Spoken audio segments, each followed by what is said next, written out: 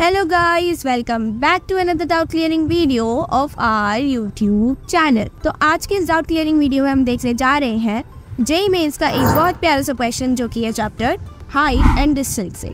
तो देखते हैं हमसे ये क्वेश्चन क्या बोल रहा है। The vertical pole of height 20 metre and 80 metre stands apart on a horizontal plane the height in meters of the point of intersection of the lines joining the top of each pole to the foot of the other from the horizontal plane is.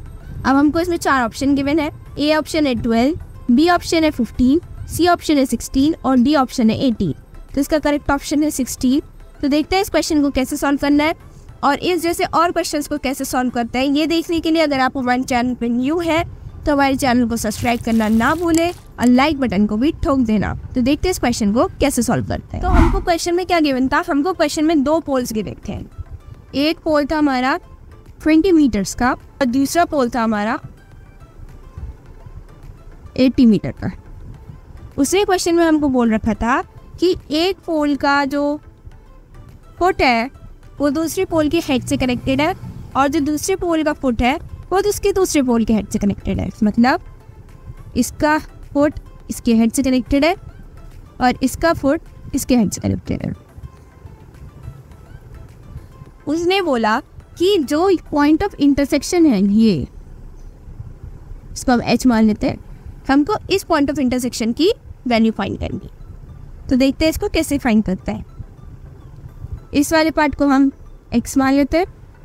X one कह दो।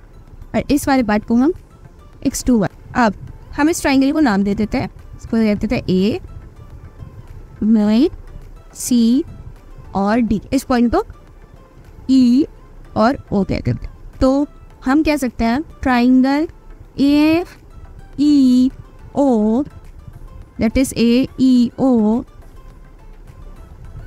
is similar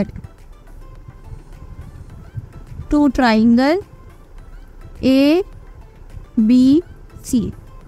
ये छोटा वाला triangle इस बड़े वाले triangle के similar है। सिमिलैरिटी ऑफ़ ट्राइंगल के हिसाब से ये छोटा वाला ट्राइंगल इस बड़े वाले ट्राइंगल के सिमिलर है। तो क्या होगा? H upon X one will be equal to 80 upon x1 plus x2. इस वाले ट्राइंगल की perpendicular upon base will be equal to इस वाले ट्राइंगल की परपेंडिकुलर अपॉन बेस। अब ऐसे ही हम इस ट्राइंगल में करेंगे। इन दो ट्राइंगल को इक्वल कर देंगे, सिमिलर कर देंगे। तो करते हैं। Triangle C E O is similar to triangle CDA. तो इस वाले ट्राइंगल और इस वाले ट्राइंगल को हमने सिमिलर कर दिया।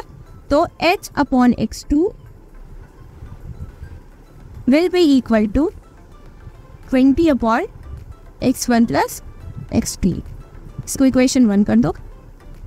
इसको इक्वेशन टू कर दो। सो हम हम लिख सकते हैं by equation one and two equation one two को हम जब सॉल्व करते हैं तो हमारे पास वैल्यू क्या आ रही है? एक्स टू अपॉन में X one is equal to four आ रहा है। या हम लिख सकते हैं X two is equal to four X one तो अब हम इस एक्स टू की वैल्यू इन दोनों में से किसी भी एक इक्वेशन में पुट कर देते हैं। चलो इक्वेशन नंबर वन में तो एच अपॉन में X one is equal to eighty upon X one plus X two की वैल्यू क्या होगी? Four X one putting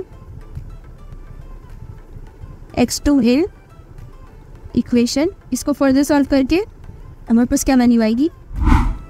thank you